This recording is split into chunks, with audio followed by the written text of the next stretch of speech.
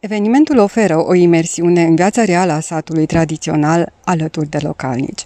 El concentrează toate aspectele traiului de la țară, de la activitățile locului care duc mai departe identitatea Maramureșului, la mâncarea tradițională a localnicilor, gusturi autentice, la cântec și joc în ritmuri ancestrale.